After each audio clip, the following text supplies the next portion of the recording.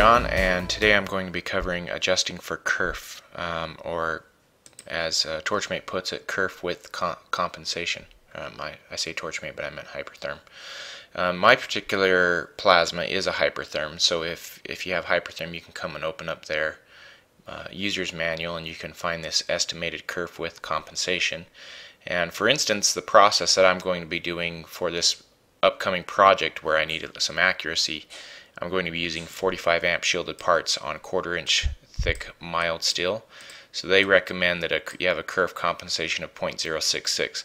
Now you have to realize that um, this number that they're getting is coming from a factory um, in a different location. So there's some different environment variables than what I'm dealing with here. I'm, I'm probably consider, considerably much drier here in Utah than um, up in Maine or Vermont or wherever they're located at and where wherever these lab tests were done. However, I have found that um, the information in these charts gets me pretty close. Up to this point, though, if you go into my Torchmate soft, soft CAD software into the tool library and look at my plasma, I have a uh, kerf compensation of 0.050 which is the default and it's been fine up to this point um, but I'm, I'm shooting for a little more accuracy again today. So what I'm going to do is start adding in as, as I uh, need more accuracy I'll for different thickness materials and different things for instance a 16th inch mild steel versus you know a quarter inch I'll have to come and add these in. But what I want to do is come in here and add a one quarter inch plasma and I'm going to assign it the kerf width that um, Hypertherm recommends 0.066 and that's just a starting number. I'm actually going to be running some tests but I'll show you how that's I'll show you that how that's to be done. Um, I clicked on something on my screen. There we go. So 0.066 and that's going to be our starting number. And we'll go ahead and click add and we'll close this. So what I'm going to do is I'm going to draw a square box.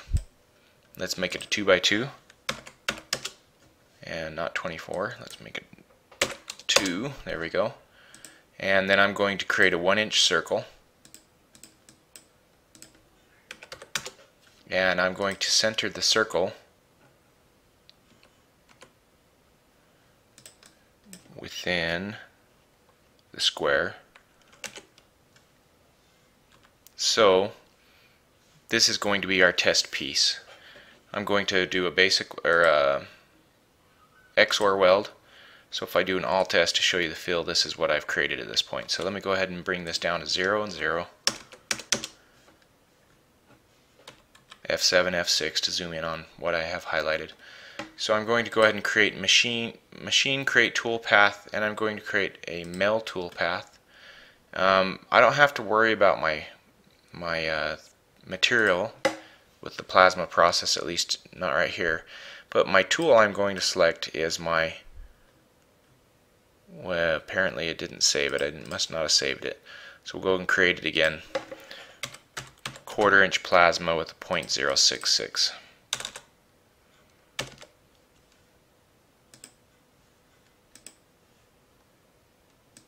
Okay, so now we'll go ahead and select that quarter inch plasma and lead in lead out um, this is fine with me right here. I'm going to say OK and you can see we've created our toolpaths let me just move this to 0 and 0 and we're going to come out to edit or layout sequence by list toolpaths only say OK and let's go ahead and export this and I'm just going to drop it in my CNC folder. We'll call it um,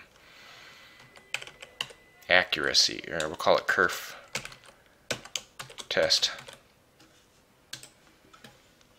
So just because I like to double check things um, inside before I go out into my garage to make sure I didn't mess anything up, I'll go ahead and import that DXF.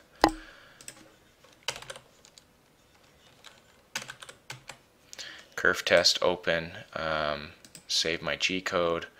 I will be running at 48 inches a minute. That's how fast I cut my quarter inch plate.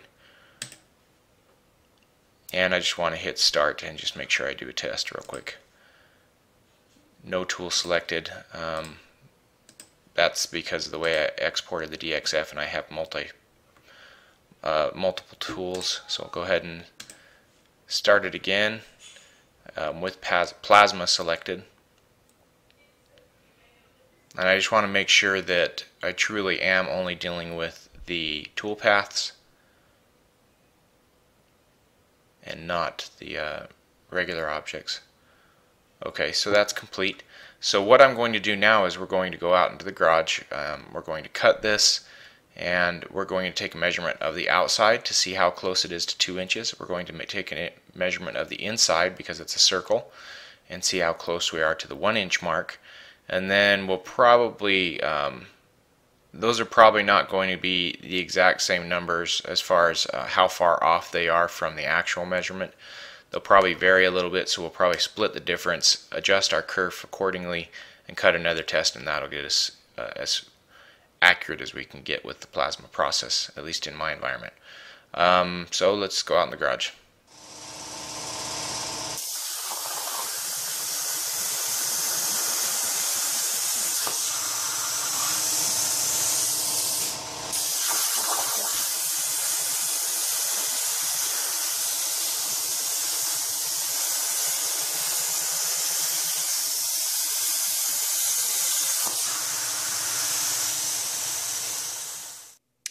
Okay, so I ran this test a couple of times. I only recorded once, um, but I wanted to show you a couple of differences. The first time I ran the test, I ran it with consumables that I had in my torch that I've been using for some time, and I didn't bother checking them to see if they are worn or not. So when I measured it out, I got 2.002 on the outside. That's measuring on the top. It's it's hard to tell in this video, but there's actually a, a bevel on this right side. Um, and th there's some beveling just trust me. There's some beveling even though you can't see it uh, very easily. So 2.002 was the very top piece of it not accounting for any bevel. And then on the inside um, was 0.984 so what I was going to do is split the difference and and then show you how to do a kerf adjustment on that. Then I remembered oh yeah I didn't change out my consumables.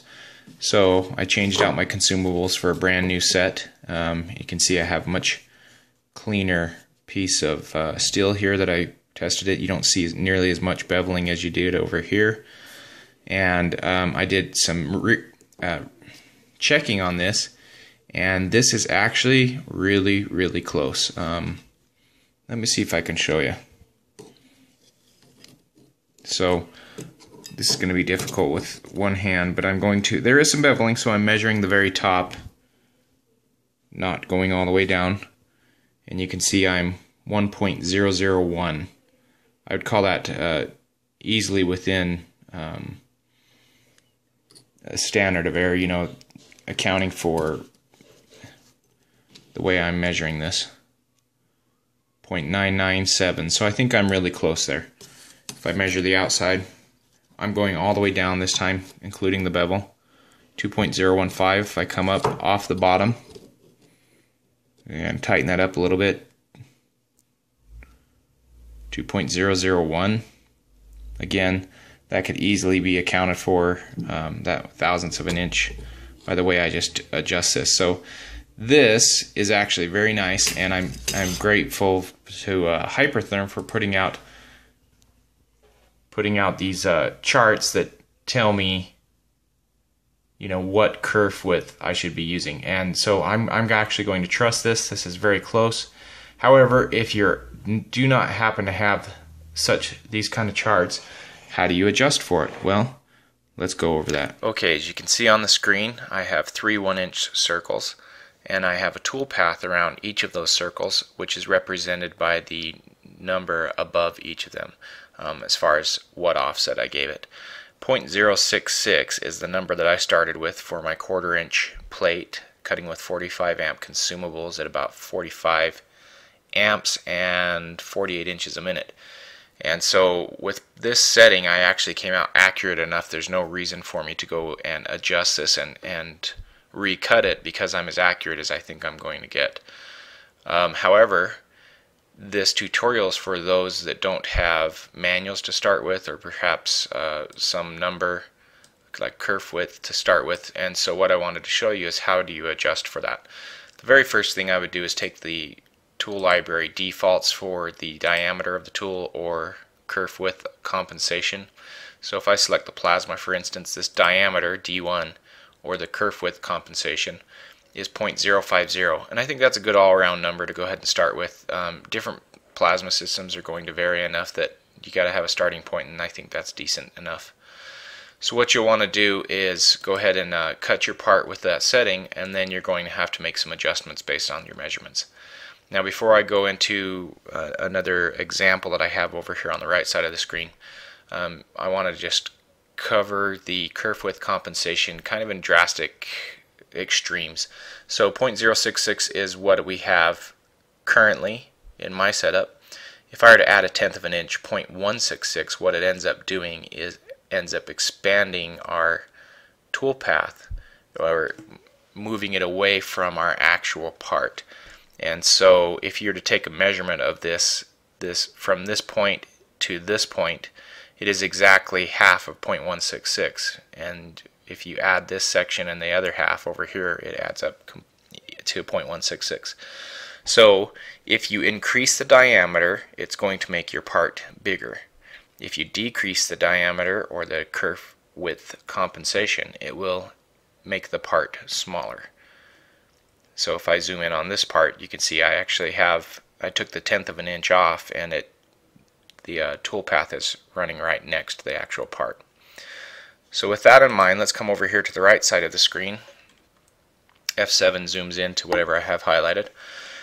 And if I were to take my part and measure it, this is just an example. Um, if I were to take this outside part and measure it from here to here, and I ended up with a 2.016, well you can see that my part is just a little bit big. Keep in mind this isn't laser and you're not going to have perfect results. Um, also as you continue to use consumables and things like that, they are going to wear. You have environment variables that are always changing, so um, you're going to only get accurate to a certain point and then you just have to call it good.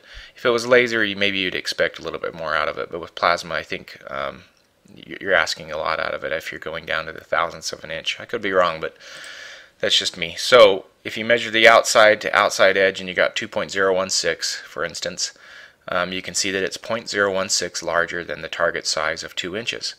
So what you want to do is take that difference, the 0.16, and you want to shrink it down so you have to decrease the size of the tool or the kerf width compensation.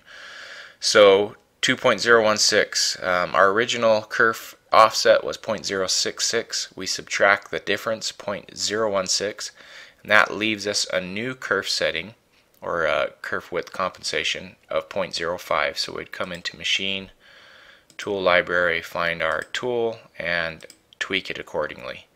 Um, in this case, it's actually this one. Um, so I would, I would drop that down, go and recut things, remeasure, and adjust up or down depending on uh, my results. Again, you would adjust this up when your part is too small. When your part is too large, you adjust it down.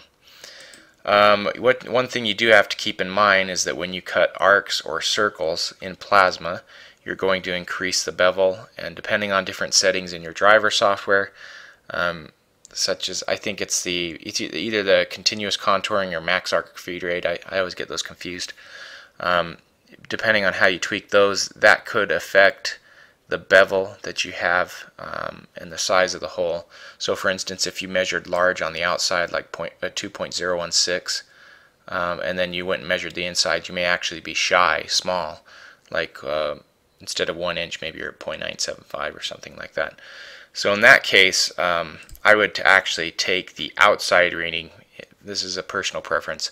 I would take the outside reading because uh, when you're cutting straight lines, you're going to be more accurate than when you're cutting arcs and curves. Um, but this is a good part to cut though to kind of give you an idea of what you're looking for. If you're aiming for maybe a perfect circle for some part. Maybe you want to measure off the inside or go tweak your continuous contouring or max arc feed rate. Maybe that'll uh, correct that issue for you, but um, that's beyond the scope of this tutorial. So um, just to summarize one last time, let me come back in. If you're large, um, you're going to take the the actual size minus the target size and get the difference. Um, and that'll be the same thing if you're too small. You just want to find the difference from the actual size to the target size. If you're too small, add it to your original kerf offset that you tested it with.